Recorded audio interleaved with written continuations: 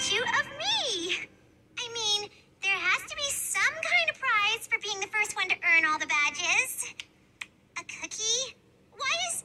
Oh no! I was right. Oh, I'll help, but first, you need to get rid of something for me. Okay, okay, we're sorry. Thought grannies were sweet and loving.